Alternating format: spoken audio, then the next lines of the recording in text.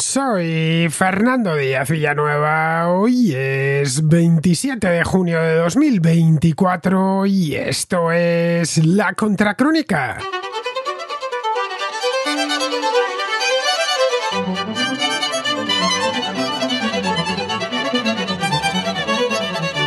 Este lunes el Partido Popular y el PSOE pusieron fin a cinco años y medio de bloqueo en la renovación del Consejo General del Poder Judicial el órgano de gobierno de los jueces, cuyos 20 miembros los eligen las Cortes por una mayoría cualificada. Esta anomalía, denunciada infinidad de veces en tanto que aniquila la independencia que debe presumirse al tercer poder, era con lo que quería acabar el Partido Popular. Venían desde finales de 2018 insistiendo en que había que reformar la ley orgánica del Poder Judicial para permitir que el Consejo eligiese a sus vocales, como sucede en la práctica totalidad de los países de Europa. La postura del PSOE era la contraria. Defendían que el Consejo emane del Poder Legislativo, ya que, a su juicio, eso otorga naturaleza democrática a este órgano. Dos posturas irreconciliables, como vemos, que mantenían el Consejo bloqueado desde hace tantos años. El problema era acuciante porque hace tres años el gobierno decidió que un consejo con el mandato vencido no podía hacer nombramientos en la cúpula judicial. Con esto, Pedro Sánchez trataba de presionar al PP para que accediese a la renovación en un momento en el que el PSOE gozaba de mayoría en ambas cámaras. Pero el Partido Popular, en aquel entonces presidido por Pablo Casado, no se prestaba al arreglo. Llegó entonces Alberto Núñez Feijóo e hizo una oferta, pero el PSOE no la aceptó y el bloqueo se mantuvo. Para complicar aún más las cosas, a finales de 2022, el presidente del Consejo, Carlos Lesmes, dimitió con el objetivo de que eso sirviese como catalizador para un acuerdo que no se materializó, pero que al menos sirvió para que la Comisión Europea tomase cartas en el asunto. Al final ha sido la Comisión Europea la que ha tenido que apadrinar el acuerdo a través de una mediación capitaneada por la vicepresidenta Vera Jourova. El compromiso final contempla que el Partido Popular proponga a 10 vocales y el PSOE a otros 10, que habrán de decidir entre ellos quién será el presidente del Consejo, que lo es también o lo será también del Tribunal Supremo. Junto a eso han acordado unas medidas que, según aseguraron en la rueda de prensa celebrada tras la firma del acuerdo en Bruselas, persiguen reformar la independencia judicial se han comprometido a impulsar juntos una nueva ley orgánica del Poder Judicial que contemple que no puede acceder al cargo de vocales del Consejo ni de fiscal general del Estado ningún candidato que haya ostentado cargo político alguno en los cinco años anteriores al nombramiento. Pretenden también que para ser magistrado del Tribunal Supremo sean necesarios 20 años de antigüedad. El acuerdo prevé asimismo que esa ley aún por aprobar se incluya una disposición en la que se dé un plazo de seis meses a los nuevos vocales para que presenten una propuesta de reforma que establezca la participación directa de los jueces en la elección de los 12 vocales que por mandato constitucional han de provenir de la judicatura. Para ello deben estudiar otros sistemas europeos y elaborar sobre ello su propuesta. Las reacciones a este acuerdo in extremis, alcanzado solo un par de semanas después de que Pedro Sánchez amenazase con cambiar el procedimiento para poder renovar el Consejo con una mayoría parlamentaria simple, han sido inmediatas. Los socios del gobierno no están a favor de lo pactado, tampoco lo está Vox, aunque por razones diferentes. Para la opinión pública, el cambalache ha dejado una sensación agria. Muchos se preguntan por qué han necesitado más de cinco años para regresar al punto de partida. Otros asumen que nada cambiará, que el Consejo General del Poder Judicial seguirá secuestrado por los dos principales partidos, porque para ambos que esto sea así es de capital importancia. Pues bien, para hablar sobre este tema vuelve a la contracrónica Guadalupe Sánchez, abogada y comentarista en medios de comunicación que ha seguido muy de cerca este asunto durante los últimos años. Con ella desentrañaremos las claves de un acuerdo que no ha dejado contento a nadie, pero que en el Partido Popular exhiben como el único posible.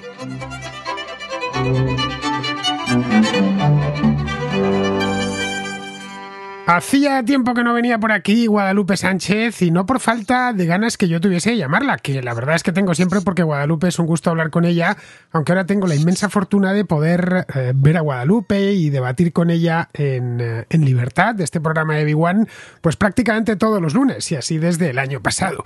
Así que entre unas cosas y otras no había podido pasar por la contracrónica. Eso sí, no quería dejar que se escapase hoy que tenemos un tema judicial entre manos y además me lo habéis pedido muchos de vosotros. En este caso, tanto por WhatsApp como a través de correos electrónicos. Desde ayer me habéis escrito para que traiga a Lupe. Queremos a Lupe, me decíais alguno de vosotros. Bien, pues aquí tenéis a Lupe. Muy buenas, Lupe, ¿cómo estás? Hola, muy buenas, Fernando. Hay que ver cuánto oyente masoquista que tienes. Todo lo contrario, todo lo contrario. Yo les entiendo a la perfección. Lo que pasa es que ayer por la noche hice directo y alguno me decía, llama a Lupe. Y yo, pero ¿cómo voy a llamar a Lupe a las once y media de la noche? Tendrá cosas que hacer. Estaba yo en Twitch y dije, ya veré si eso si la llamo mañana. Y bueno, te he llamado para ver si andabas libre, que sé que andas muy liada, aunque hoy no estás en Madrid, estás en Alicante y esa es la razón por la cual lo hacemos por teléfono. Bien, Lupe, recordarás que el lunes pasado estábamos en B1 y hablábamos precisamente de esto, de la renovación del Consejo General del Poder Judicial. No sabíamos lo que iba a pasar, no teníamos ni idea. La negociación entre PP y PSOE estaba muy avanzada y se hablaba incluso de optimismo, pero esto podría haber salido por la peor de las partes, es decir, con Pedro Sánchez rompiendo con todo y llevándose esto al Congreso de los Diputados para sacar un nuevo Consejo General del Poder Judicial de su gusto y del de sus socios. Bien, al final no ha llegado la sangre al río por ahí, pero tampoco podemos celebrarlo, ya que no se ha despalitizado el eh, Poder Judicial, en virtud de lo acordado este martes en Bruselas. Exacto, mira, eh, partíamos de dos posiciones enconadas y contrapuestas. Una, Pedro Sánchez, que estaba dispuesto a detonar la bomba institucional y asaltar el Poder Judicial a través de la intervención del Consejo General del, Poder Judicial y otra era la del PP, que como siempre que está en la oposición, pues exigía una despolitización del Consejo, del órgano del gobierno de los jueces, para que de los 20 eh, vocales que lo componen, los 12 que son magistrados fueran elegidos por sus pares, por los jueces. Pues bien, claro, eh, yo era muy escéptica, de acuerdo, eh, esperaba lo peor porque todos hemos venido escuchando a lo largo de estas semanas un discurso de lo más populista y antidemocrático por parte ya no solo de Pedro Sánchez, sino de todo el Partido Socialista y de toda su corte mediática, ya sabemos, los sincronizados, machacando que la soberanía popular eh, eh, de la soberanía popular emanan todos los poderes del Estado y que la soberanía popular eh, radica en el Congreso, ¿verdad? Es decir, nos temíamos, pues, como te he dicho, que Pedro Sánchez modificase por las bravas y por la vía de urgencia la ley orgánica del Poder Judicial eh, rebajase las mayorías para nombrar a los vocales del Consejo General del Poder Judicial y así el poder colocar con sus socios a una mayoría progresista, entre comillas, y a su vez también rebajar las mayorías que se exigen dentro del propio Consejo General del Poder Judicial para realizar una serie de nombramientos muy importantes que afectan a las altas instancias de la magistratura, empezando por el Tribunal Supremo. El Consejo General del Poder Judicial, nombra a los magistrados del Tribunal Supremo, nombra a los presidentes de sala y eh, de los tribunales superiores de justicia, entre otros cargos.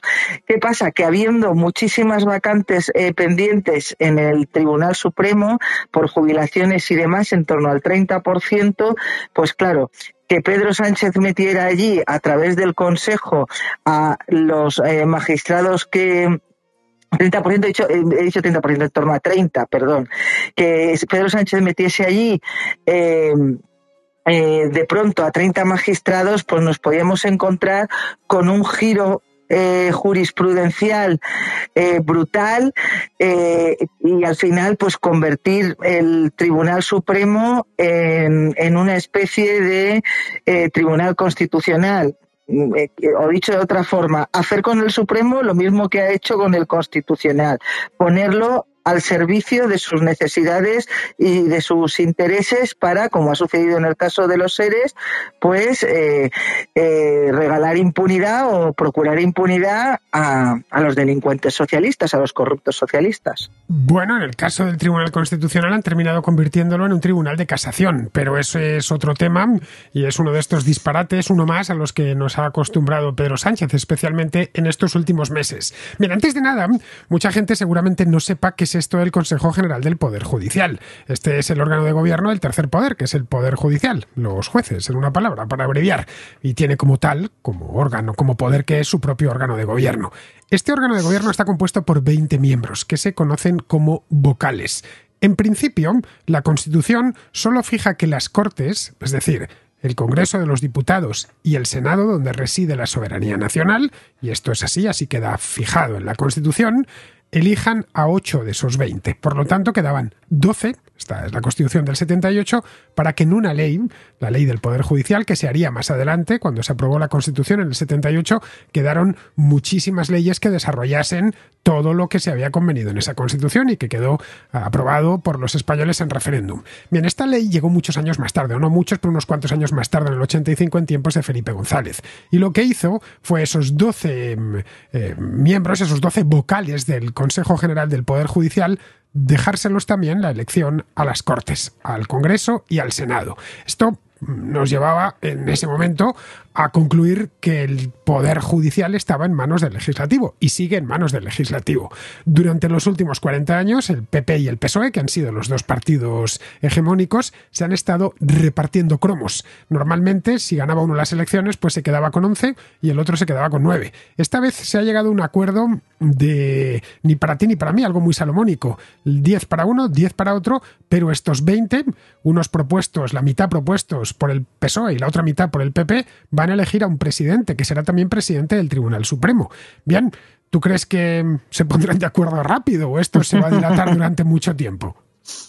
Vamos a ver, eh, el resultado alcanzado no es el peor que nos temíamos, que era, como he dicho, el asalto de Pedro, pero tampoco eh, supone la despolitización del Poder Judicial en absoluto.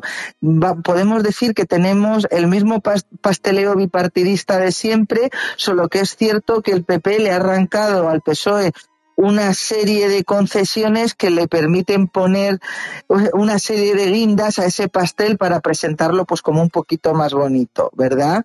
Eh, efectivamente, como bien has indicado, eh, tradicionalmente eh, el reparto venía a, hacer, a hacer una equivalencia con los eh, escaños del Congreso, algo que, por cierto, el Tribunal Constitucional en una sentencia del año 86 dijo que era inconstitucional, es decir, declaró que esa reforma de Felipe González a la que tú te has, te has referido para que a los doce magistrados los eligiesen también las Cortes no era contraria a la Constitución siempre y cuando la selección de los vocales no fuera una traslación de reparto de fuerzas del Congreso. Eso está en la sentencia del año 86 y eso se viene incumpliendo sistemáticamente desde entonces. Quizá pues este acuerdo es el es, el, eh, eh, eh, es la culminación de todo eso, ¿verdad?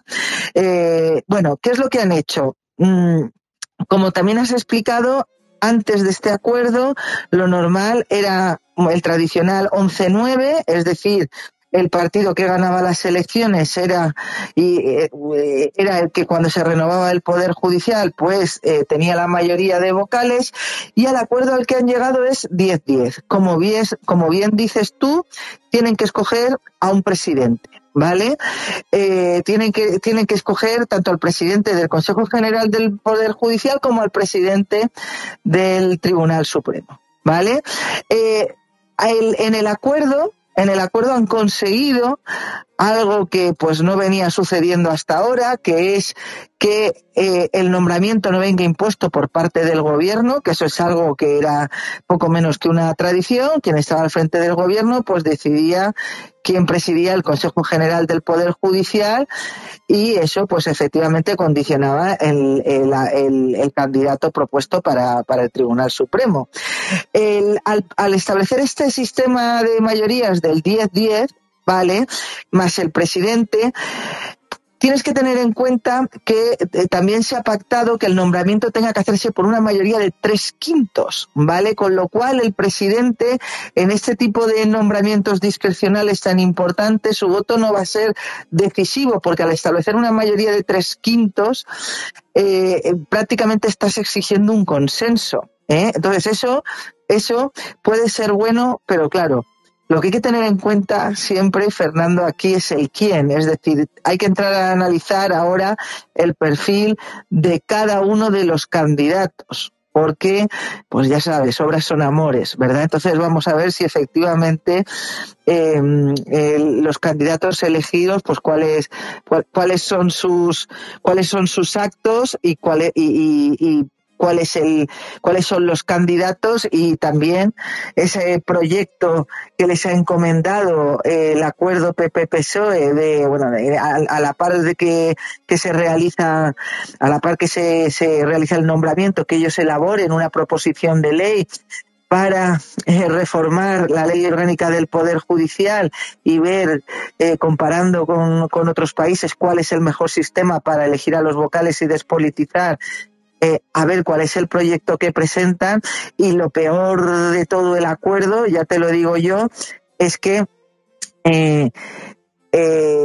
precisamente se ha presentado como una suerte, por, al menos por el PP, se ha presentado como una suerte de transición hacia un modelo total de despolitización pero es que no hay garantías de eso, no hay ninguna garantía. Como te he dicho, han encomendado al nuevo Consejo esa proposición de ley para, para mm, eh, establecer una, una futura reforma que permita a los jueces elegir a esos 12 jueces, pero claro, el Consejo presenta la proposición de ley, pero eso quien lo tiene que aprobar es el Congreso y los diputados. Y garantías de que lo aprueben no hay ninguna. Ya estamos escuchando en estas últimas 24 horas las, las declaraciones de destacados miembros del Partido Socialista y del Gobierno diciendo que eso de elegir la izquierda, Íñigo Rejón, etcétera, diciendo de que eso de que los jueces elijan a los jueces, nada de nada, porque eso resta al Poder Judicial legitimidad democrática.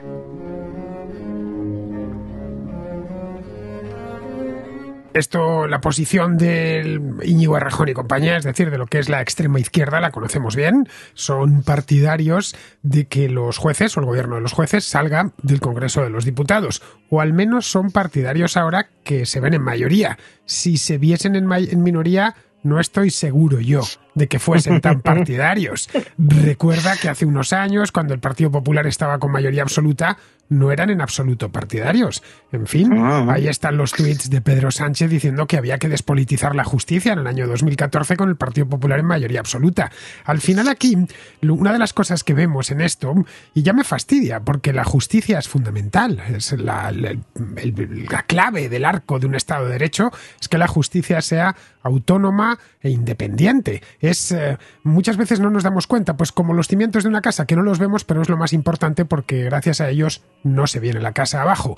En, este caso, si vemos, es un, están chuleándoles continuamente en función de los intereses políticos. Vámonos al año 2018. En aquel momento, el PP ha salido del poder por la moción de censura, pero sigue gozando de una mayoría considerable en la Cámara. Tenía, creo que eran 137 escaños y el PSOE solo 90.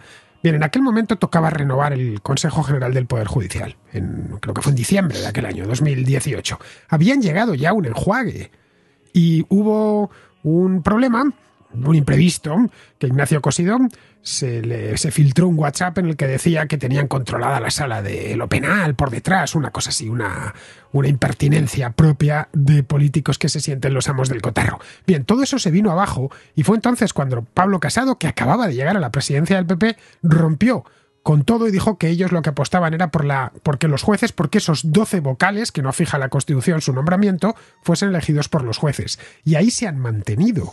Lo que yo no termino de entender es por qué han, después de mantenerse, ojo, varias elecciones, ¿eh? después de mantener una posición, creo que defendida por la mayor parte de españoles, quitando los que son, mm, están muy a la izquierda, el, cualquier español que le preguntes qué te parece que los jueces sean independientes, te va a decir que sí, que por supuesto, que es algo que da por hecho.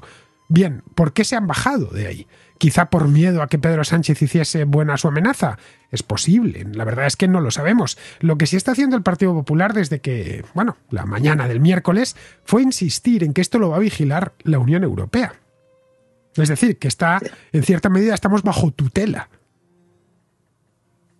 Así es. Bueno, lo primero es que eh, la independencia del Poder Judicial es siempre una reivindicación tradicional de los partidos cuando están en la oposición. Cuando están en el gobierno se les olvida y de hecho eh, algunos incluso hacen todo lo contrario. Recordemos a Gallardo, ¿de acuerdo? Entonces, eh, eso es así es una tradición de nuestra democracia. Efectivamente, el Partido Popular, eh, al alcanzar este pacto, eh, se, se enfrenta a una buena parte de su electorado que está ya bastante cansada de todo este tema y que efectivamente lo que les exige, lo que les pedía era despolitizar, porque eh, si uno eh, analiza fríamente el acuerdo, nada impedía, eh, Fernando, primero despolitizar y luego nombrar. Es decir, de igual forma que se va a realizar el nombramiento y, la, y la reforma de la ley orgánica del Poder Judicial pues para eh, acometer algunas mejoras, como por ejemplo acabar con las puertas giratorias entre política y justicia, garantizar mayor independencia del fiscal general, que también se va se ha acordado reformar el estatuto orgánico del Ministerio Fiscal y alguna cosa más, pues exigir eh, una mayor experiencia para ser presidente del Supremo. En fin, se han hecho algunas mejoras de este estilo eh, esa misma reforma por la vía de urgencia que se va a hacer se podía haber hecho precisamente para cambiar el sistema de nombramiento de esos 12 vocales jueces y no se ha hecho.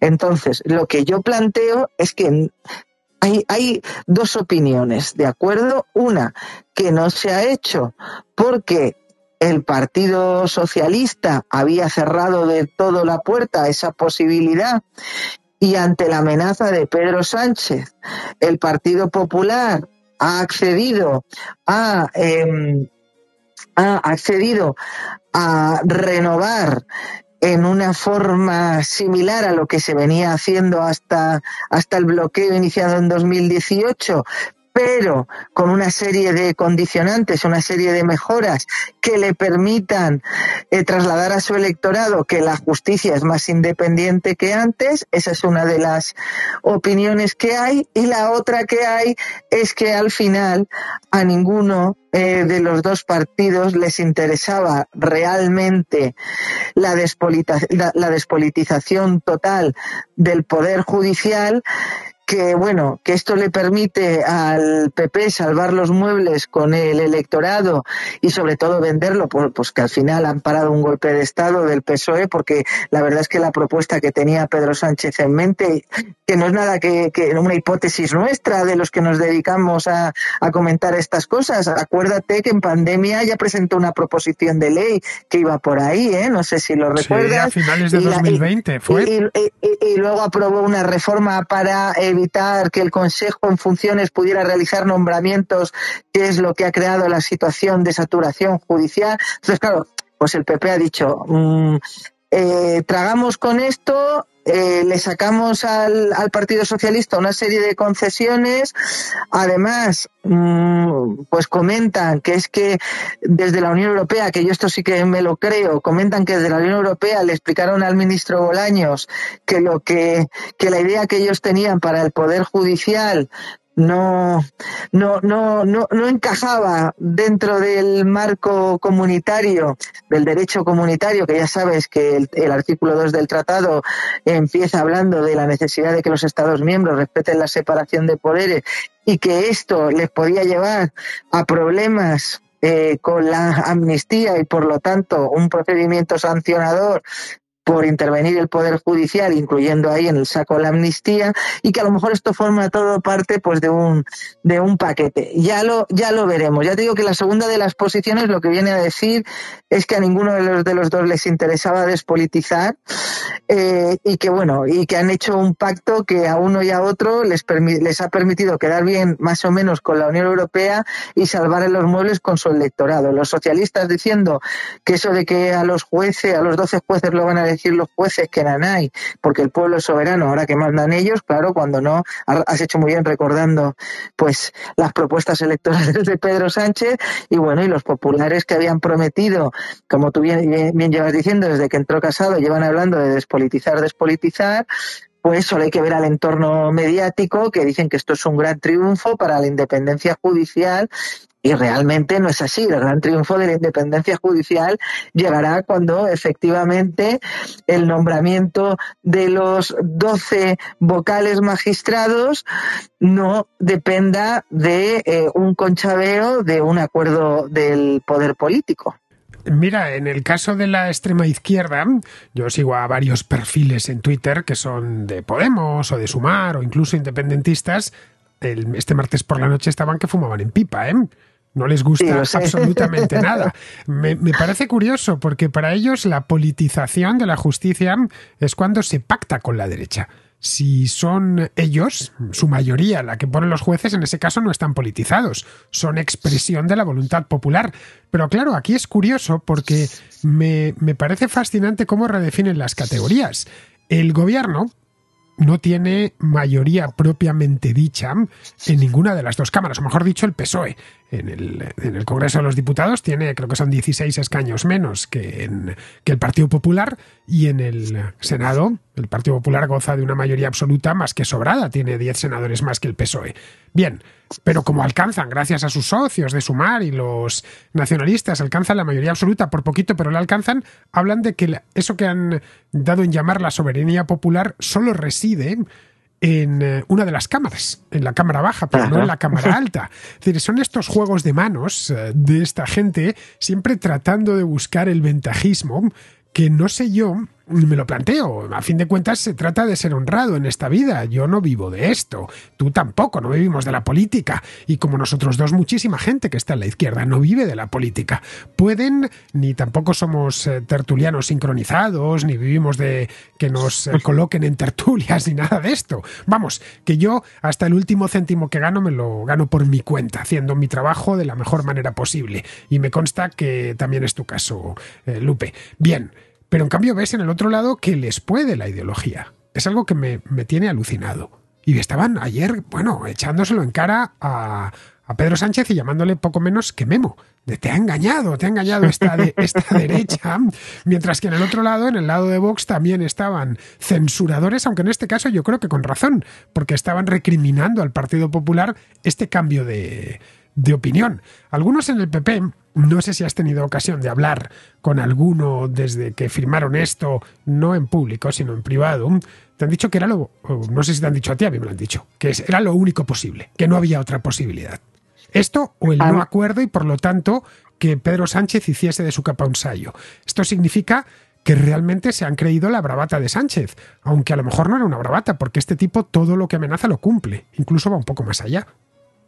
Claro, es que realmente eh, desconfiar en que Sánchez pueda cometer un asalto al Poder Judicial, cuando ya hemos visto que ha asaltado mm, el resto de instituciones eh, que ejercían como contrapesos en España y las que no ejercían como contrapesos también, eh, en honor a la verdad, eh, no hay nada que no haya copado el sanchismo salvo el poder judicial, pues no creerte la bravata era un poco pecar de ingenuidad y sobre todo por lo que yo he dicho, porque eh, en su momento ya eh, ya inició el camino para hacerlo. Yo insisto, en pandemia el PSOE presentó una proposición de ley eh, para rebajar las mayorías. Eh, yo quiero recordárselo a los oyentes porque es que esto es cierto y, de hecho delata al personaje para el que tenga algunas dudas y la, la retiró únicamente porque, como bien sabes, en pandemia, ahora también, pero en pandemia estábamos en una situación económica y financiera muy delicada como país y los y sin el maná de los fondos europeos no hubiéramos salido del hoyo en el que caímos porque recuerda que caímos en V, ¿eh? En, aquello fue una caída en picado. Entonces, fue gracias a las amenazas que llegaron por parte de la Comisión Europea, por parte de Reinders, que esa proposición se retiró. Pero estaban dispuestos a aprobarla y a hacer lo que Pedro Sánchez manifestó que iba a volver a hacer después de la imputación de su mujer y después de la imputación de su hermano. Eh, como digo, un señor que nombró ministra, que nombró fiscal general del Estado, es ministra de Justicia, que metió en el Tribunal Constitucional a un exministro y a un alto cargo, que derogó el delito de sedición y que ha aprobado una ley de amnistía que poco menos que viene a suponer que él, que es el que tiene mayoría en el legislativo, decide quién responde ante la justicia por sus crímenes y quién no. Esto es el perfil de este señor. Entonces, que pensar que este señor, eh, jugársela, que este señor no, no eh, eh, cumpliera su amenaza, pues era ciertamente arriesgado. Sí que te digo, yo también he hablado con gente dentro del PP. Eh, hay gente a la que a mí me gusta, me consta que esta reforma le gusta porque piensan como el Partido Socialista que el, el, poder, el Consejo General del Poder Judicial tiene que tener una legitimación democrática, la democratización de la justicia. Pero esta, si ya hay ocho. Esta, palabra está, ya, sí. Escucha, ya no, hay ocho que contempla la ellos, Constitución. Eh, ellos los quieren a todos. Entonces hay una parte no desdeñable del Partido Popular que está en eso, pero sí que es verdad que hay otra parte, quizás sea la parte más liberal, a la que el acuerdo no le gusta, que digamos que lo entienden en la medida en que dicen, oye, ¿qué haces? ¿Dejas a, al, al, al, terrorista institucional detonar la bomba y ver qué pasa? Pues lo entienden, pero no les gusta. Y es que, y es que una de las grandes cosas que no sabemos vender los liberales y que nos hace moralmente superiores, como dice mi ley, es que compartimos, nuestra casa común es que compartimos la noción de poder limitado de contrapoderes de, de, y de ser eh, vigilantes, de estar siempre vigilantes y desconfiar de quien ostenta el poder. Por eso, todos los liberales creemos que uno de los tres poderes independientes del Estado, concretamente el poder que tiene que interpretar, y aplicar la ley y eh, garantizar que todos somos iguales ante el ordenamiento jurídico, incluido en, eh, ante la ley, y todos tenemos que respetar el ordenamiento jurídico, cumpliendo con las penas que nos impongan mediante sentencia firme. Los liberales creemos que los señores a los que eh, la Constitución ha encomendado eso, que son los miembros del Poder Judicial, tienen que ser plenamente independientes. Y prueba de que ha ganado el pasteleo más que una voluntad verdaderamente regeneradora es que si te fijas en, en el perfil de los nuevos miembros del Consejo General del Poder Judicial, eh, la mayoría son de la APM, que es una organización de jueces conservadora, están afiliados a esa organización en torno al 25%. Le sigue, le sigue eh, el, el, la, la, Asociación de Juezas y Jueces para la Democracia, yo digo siempre Pedrocracia, que es una asociación, es, es la tercera asociación. ¿Cómo, sí, ¿cómo tú, Lupe? Juezas, juezas y jueces para la Pedrocracia. Es que solo hay que ver sus comunicados para ver por dónde van. Bueno, pues bueno, esta que juezas, es la, la... Lupe, juezas, jueces y juezos, porque lo de jueces, bueno, la E sería inclusivo. Entonces, bueno, imagínate, claro. te, te, tendrán que planteárselo, sí, en sus estatutos. Ya tienen trabajo. Bueno, pues mira, pues esta, esta asociación que es la tercera, ¿eh? es la que tiene, ha, obtenido el, el, segundo mayor número de, eh, de vocales. El, están en torno a, pues si la otra tenía el, había, tenía el veintitantos, pues por ahí estará en torno al treinta, ¿vale? Es decir, eh, han dejado fuera, eh, Fernando, a la segunda asociación eh, más numerosa de jueces, que es la Francisco de Vitoria, y por supuesto han dejado también a los de Foro Judicial Independiente. ¿Y sabes por qué? Porque tanto la Francisco de Vitoria como Foro Judicial Independiente son las que reivindican tradicionalmente la eh, despolitización del Consejo General del Poder Judicial y la reforma del sistema de nombramientos. ¿Eh? Siempre, siempre eh, los puestos se los han repartido entre la asociación mayoritaria conservadora y la asociación mayoritaria progresista, APM, eh, y los eh, juezas y, juezos pe, y los, los pedrocráticos. Los pedrocráticos pues siempre se lo han repartido en, to en todos los pactos que ha habido sobre el Consejo General del Poder Judicial y ahora han aparecido ahí dos asociaciones más. La Francisca de Vitoria viene muy potente muy potente que tendrá en torno a 900 afiliados y ya te digo la segunda más importante y sin embargo no tienen ni un solo vocal que esto deja muy a las claras porque yo lo llamo pasteleo bipartidista, ¿eh? porque al final eh, son eh, los jueces afines, más o menos, los jueces de asociaciones afines a un partido y los jueces de asociaciones afines a otro partido.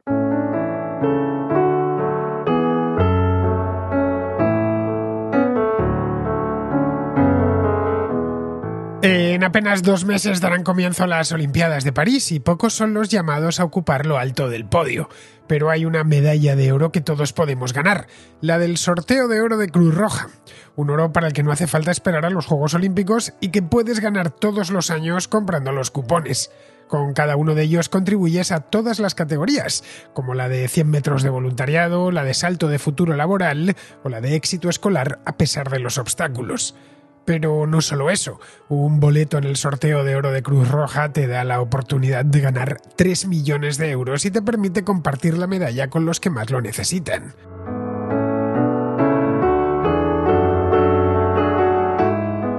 En 2024 los boletos son aún más especiales. Están ilustrados por Jenny Espinosa para representar los valores de solidaridad y esfuerzo que siempre encarnó la Cruz Roja.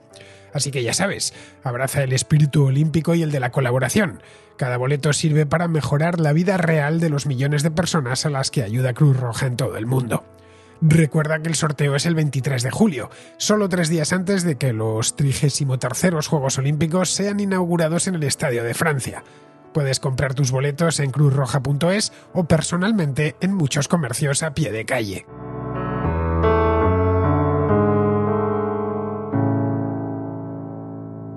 Lo cual era previsible, tampoco vamos a engañarnos. ninguna, ninguna sorpresa, ninguna sorpresa. Se ha tratado de hacer con los jueces lo que hay en el Congreso de los Diputados y no, no va de esto. Ahí, eh, que hacer, no sé, tenemos que ser más didácticos, yo creo, que con, lo, con, la idea de lo que es una democracia, porque es que si no te aparecen estos bolivarianos y te lo justifican todo en unas elecciones. El pueblo ha votado, a partir de aquí hemos elegido a un tirano. El tirano puede hacer y deshacer a su antojo. No, la democracia no va de eso.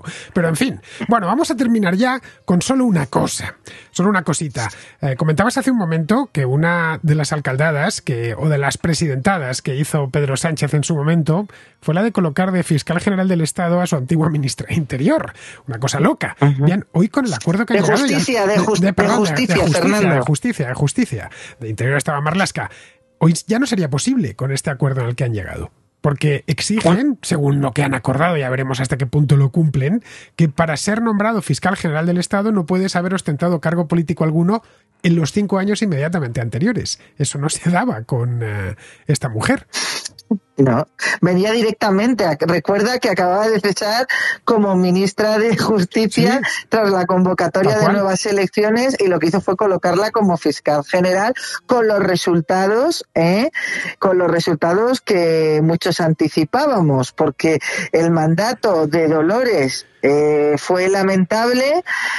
Dolores, cuando se marchó, nos dejó a su ojito izquierdo, y digo izquierdo y no derecho por algo, y bueno, y, yo ya anticipé en cuanto nombró a este señor que era difícil empeorar a Dolores, pero que Álvaro García Ortiz lo iba a conseguir y efectivamente lo está consiguiendo. Eh, es que fíjate a lo que lleva la politización de, la justicia, porque la gente tiene que tener en cuenta que eh, la fiscalía es también poder judicial. ¿De acuerdo? Bien, eh, tenemos ahora mismo de fiscal general, Fernando, a un señor que ha sido condenado por desviación de poder por el Tribunal Supremo, nada menos que por desviación de poder, ¿eh? que lo que viene a decir es que el, el fiscal utilizó la ley para conseguir unos resultados distintos a los previstos en la norma. ¿Eh? No viene a ser prevaricación, pero la línea es, la delgada línea roja entre prevaricación y desviación de poder. ¿Por qué no es prevaricación?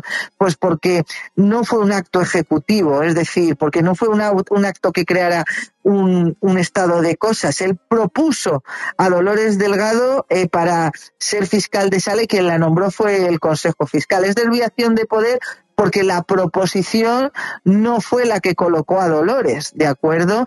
Pero el hecho de retorcer la ley para colocar a Dolores Delgado cuando no cumplía los requisitos en un fiscal general cuya principal misión, la de la Fiscalía, es asegurar el cumplimiento de la legalidad, pues es para que hubiese dimitido. Pues no dimitió. Es el principal fiscal general del Estado que cuando va a renovar su nombramiento a raíz de las renovar su nombramiento a raíz de las elecciones del 23J, pues bueno, una de las una de las funciones que tiene asignadas el Consejo General del Poder Judicial es emitir un informe que es preceptivo, no vinculante, pero sí preceptivo, sobre el fiscal general.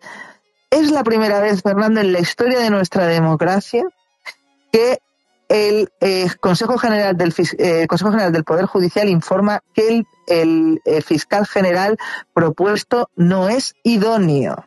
La primera vez.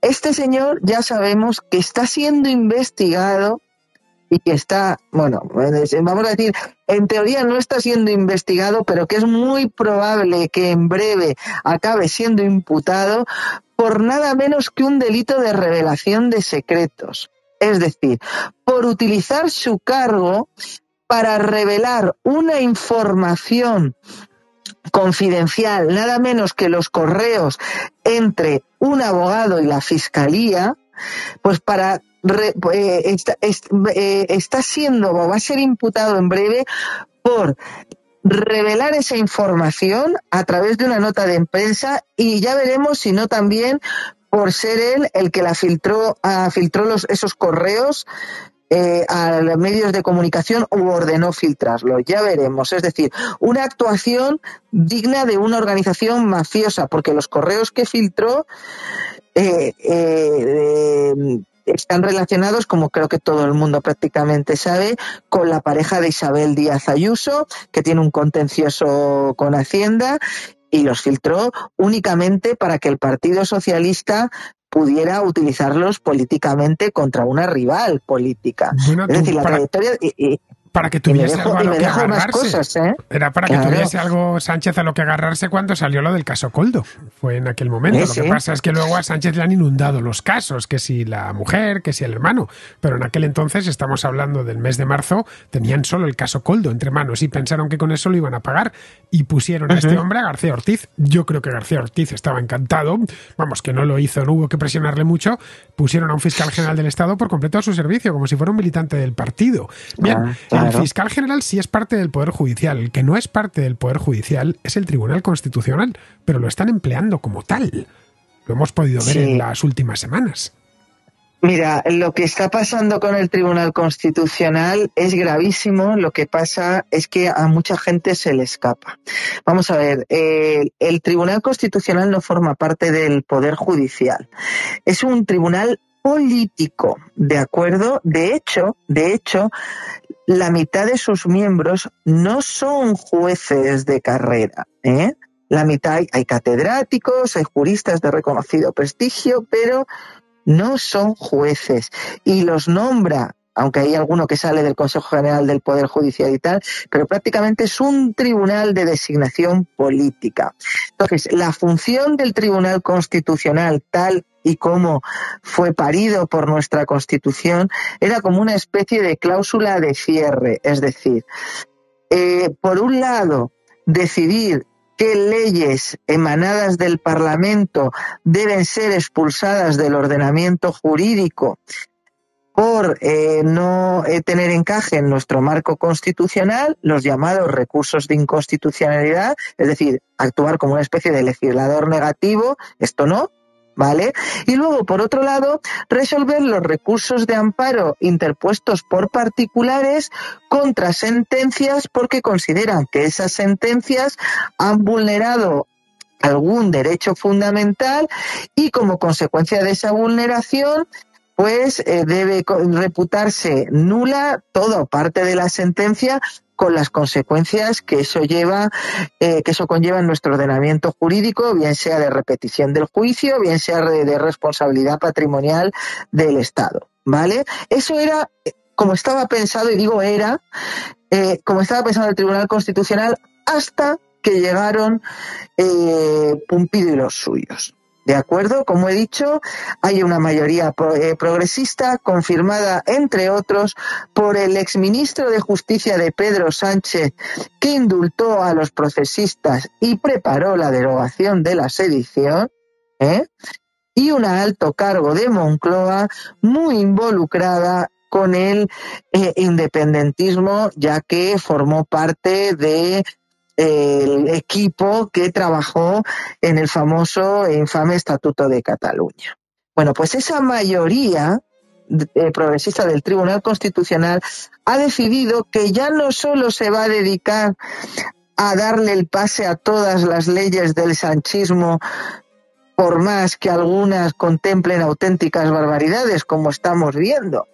Ha decidido también convertir los recursos de amparo, que como he explicado antes, simplemente si se, si se estimaba el amparo, pues eso tenía unas consecuencias de bien, de volver a repetir el juicio, bien, de, pues, de responsabilidad del, responsabilidad del, del, Estado español por un indebido eh, eh, ejercicio de la potestad jurisdiccional. Bien, pues lo que ha hecho es decir, no, no, no, nosotros también somos poder judicial, es decir, no vamos a decir si se ha, solo si se ha vulnerado un derecho, no. Además vamos a dedicarnos a interpretar la ley penal, los tipos penales, los delitos, y si consideramos, si consideramos que ha habido una deficiente interpretación del tipo penal, ¿Eh? Si consideramos que eso ha sido así, vamos a revocar total o parcialmente la sentencia. Es decir, se ha convertido en una instancia casacional por encima del Tribunal Supremo. ¿Y eso qué quiere decir? Pues que Pedro Sánchez quizás ya no está tan preocupado por asaltar la justicia y controlar el Tribunal Supremo, ya que ahora sabe que si alguna sentencia que emane de la sala segunda no le viene bien, no le convence, imagínate una eventual condena a su hermano, siempre podrá llegar el Tribunal Constitucional en esta atribución ilegítima de funciones que, que, estamos presenciando en los últimos días y revocar esa condena. Lo peor, lo peor de la sentencia de los seres de Madalena Álvarez ya no es solo, Fernando, que pues eh, se dediquen a, a corregir al Tribunal Supremo y a ejercer eh, eh, funciones que, que, se están arrogando de manera ilegítima porque no es su función constitucional. Lo peor es que encima se han permitido descalificar a los, eh, a los miembros del Tribunal Supremo, a la sala de Marchena y también a los de la Audiencia Provincial.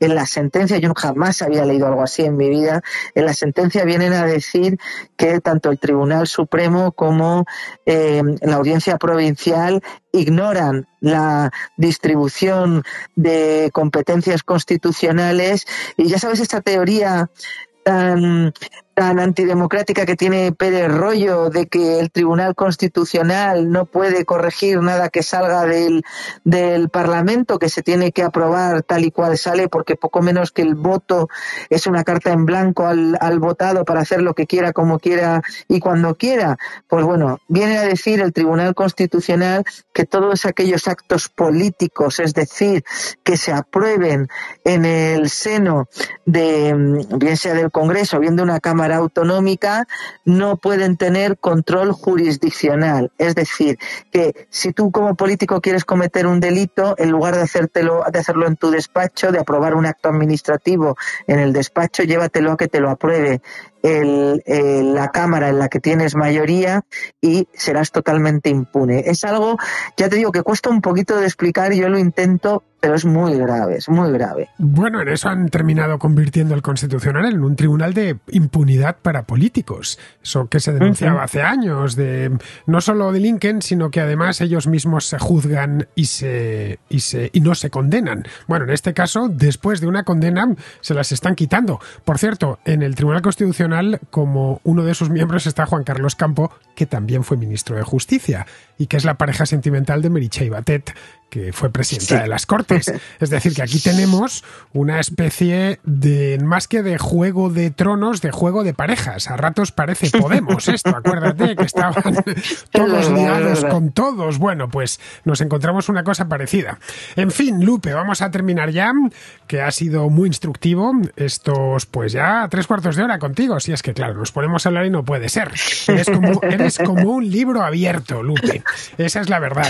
Bueno, pues nada, oye. Callo como una persona. No, no, está bien, está bien. Haces un, haces un, trabajo fundamental porque estos temas judiciales son difíciles de, de explicar y mucha gente lo deja de lado porque no lo entiende. Y es una pena, porque, como he dicho antes, son los cimientos de, nuestro Estado de Derecho. Si no lo entendemos bien, nos la pueden colar por todos los lados, como lo que están haciendo con el Constitucional ahora.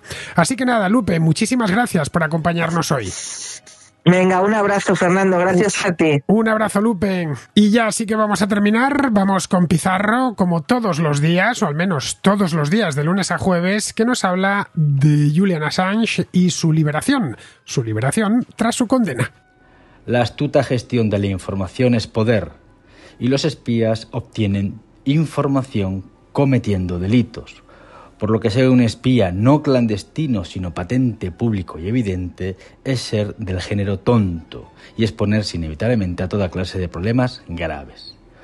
Julián daba la sensación de ir de listo y benefactor. A estas alturas ya solo se discute lo segundo. Un corazón de Pizarro.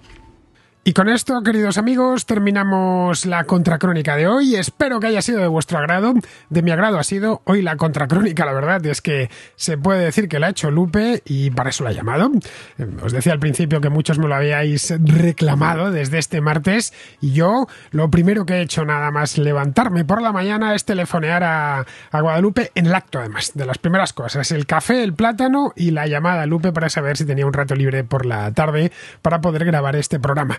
Bien, estamos, como bien sabéis, a día 27 de junio, mañana es 28 y el 28 es viernes. Luego significa que tenemos contrahistoria. Y mañana sí que hay contrahistoria. La semana pasada no pude hacer contrahistoria porque estaba eh, en aquel momento viajando entre Salamanca y Logroño, presentando contra la Revolución Francesa y no hubo manera de hacer contrahistoria alguna. De hecho, me pensé en llevar el maletón que tengo con los micrófonos, el estudio portátil, para que Alberto y yo improvisásemos algo, pero no tuvimos ni un minuto libre. Podéis preguntar preguntárselo a Alberto, que, estuvimos, a, lo quitamos todo del sueño, entre viajes, presentaciones, charlas con los contraescuchas, etcétera, nos fue imposible encontrar ni un minuto libre para poder hacer esa contrahistoria y ya lo siento porque, como bien sabéis, es el programa que más me gusta hacer de toda la semana. Mañana vuelve y vuelve con un invitado, o mejor dicho, una invitada muy especial. Hasta mañana.